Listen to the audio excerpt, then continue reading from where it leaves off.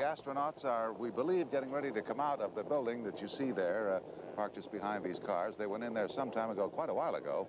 Here's an aerial view of the uh, complex of buildings at the uh, Dryden uh, Space Research Center. Let's open the microphones down there so we can hear the applause as the astronauts come into view. Oh, there's quite a crowd there, as you see. Lynn, do they have a, uh, a speaker's platform set up? Oh, there they are. Absolutely, Frank. There's Bob Crippen in his blue jumpsuit. Uh, John Young behind him, both of them with their wives, shaking hands and being greeted now. The crowd rather subdued. They're kind of in awe of these two men, as a matter of fact, Frank. They're sort of uh, shyly approaching the platform. I think Gene Cernan was right, however. Their grins are ear to ear to ear to ear. They are still flying up in Columbia, even though they're down here right now. You.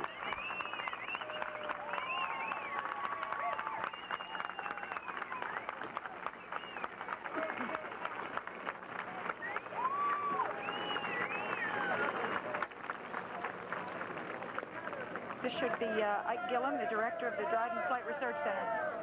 Hey, there's a shot.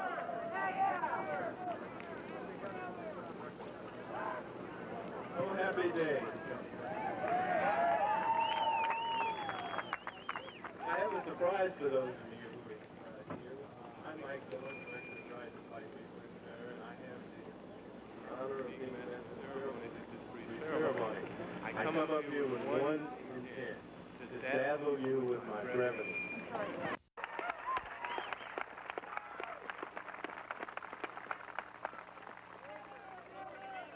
They want you together. They want you together. Right, okay.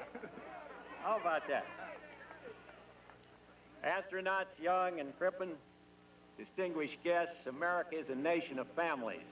And this is a family separation. I'd like to ask the wives to come and join us. Please, we're honored.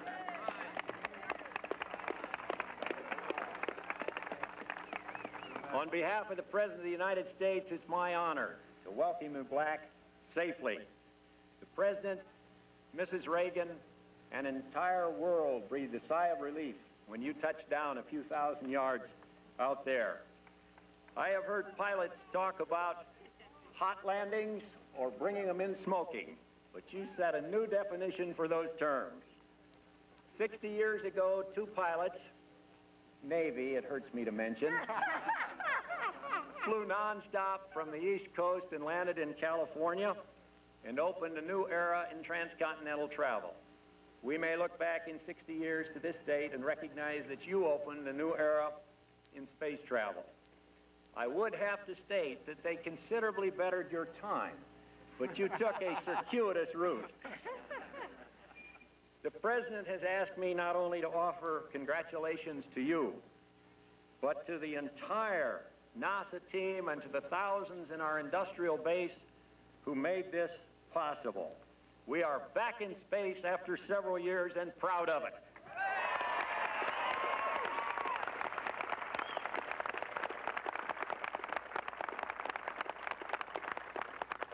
We have proved that the United States can undertake a complex scientific mission and carry it through to success.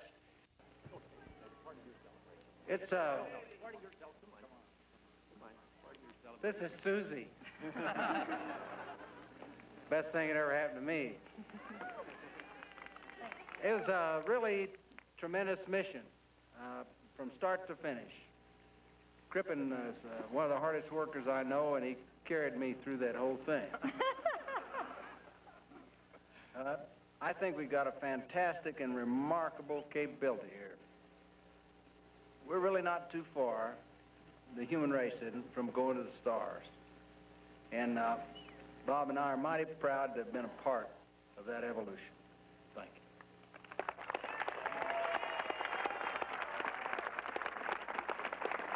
John is our speech maker. This is my wife, Ginny.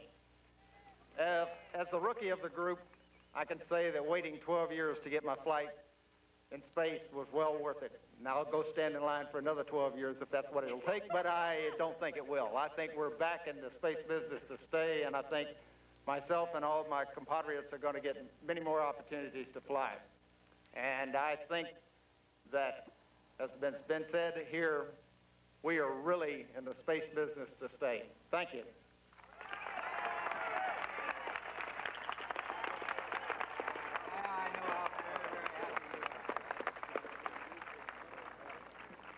I just might take this moment to express to, to John and to Chris, uh, and I hope I'm speaking for all the NASA employees, I believe I am, and the NASA contractors. Uh, it's been a, a special pleasure for us to have been associated with two super guys like you and Crip, John. Uh, if uh, at the moment uh, we have the governor of the state of California, Governor Brown, who would like to make a special presentation. Governor Brown?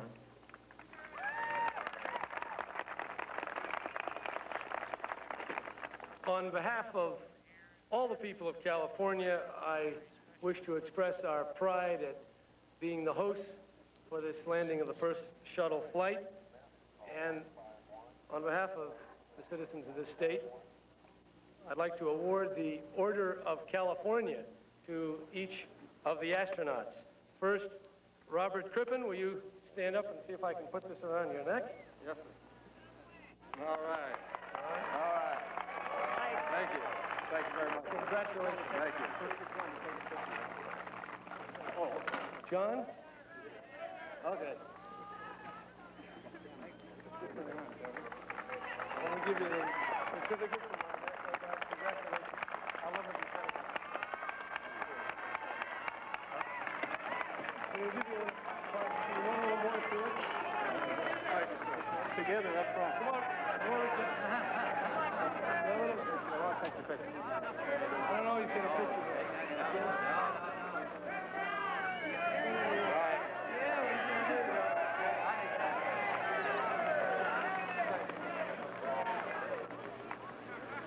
As I said at the beginning, we were going to try to keep the ceremony as brief as possible. Uh, we didn't want to, to rush you.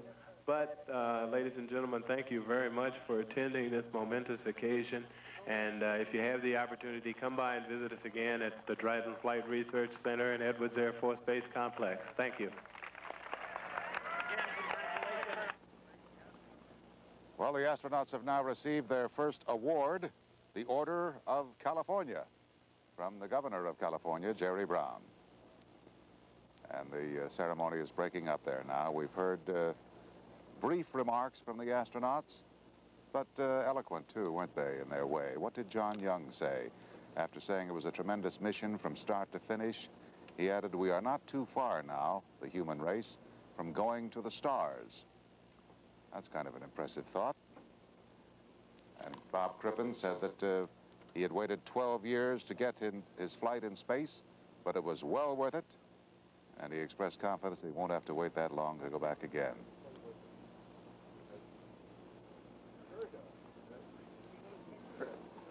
Going away now.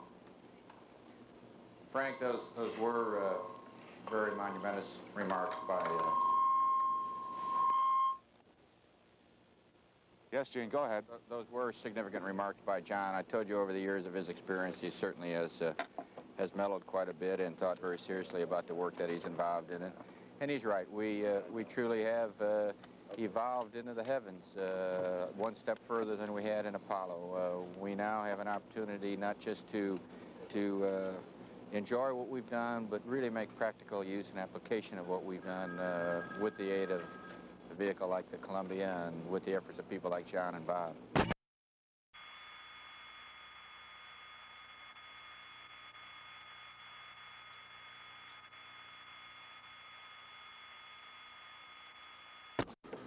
Yeah, that was quite a thing to say. Not too far, the human race from going to the stars. He didn't put it in nationalistic terms either, did it? He, he talked about man, you know, mankind reaching for the stars. Well, it is mankind that's reaching. Uh, we're we're a uh, we're a very small planet, a very beautiful star in the heavens, but we we are uh, very singular in nature. Uh, although we create our own problems, uh, when you stand back and look uh, from a quarter million miles away, you don't see those boundaries. You don't see the language and and uh, color differences that we seem to make such a big thing of down here on Earth. And perhaps uh, someday something like the shuttle uh, will allow mankind to overlook those differences and coordinate his efforts together, as John said, uh, in reaching for the stars.